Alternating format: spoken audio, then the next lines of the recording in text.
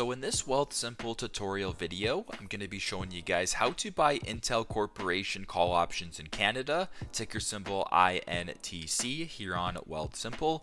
Uh, so once you have Wealthsimple open up on your device, go into your account. So for me, uh, it's going to be my unregistered account. And I'm going to go ahead to the bottom here and press on the magnifying glass icon. Now if you go to the search bar at the top, you can just simply type in ticker symbol INTC for the Intel Corporation.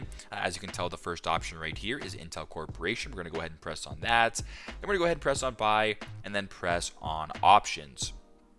So now that you're in this screen right here, if you wanted to buy Intel Corporation call options in Canada, uh, simply just go at the top where it says I believe that INTC will rise by. Make sure that when you press on rise, uh, that call option is checked. If for whatever reason, uh, put option is checked, it's going to say INTC will fall by. So make sure that it says rise by pressing on fall or rise and making sure that call option is checked.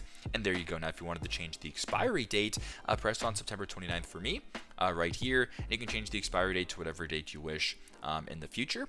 Uh, now, if you wanted to uh, go out of the money or in the money, there's a whole bunch of different options right here. So for demonstration purposes, we're going to go ahead and do $34 USD strike price of in the money. We'll press on that right there.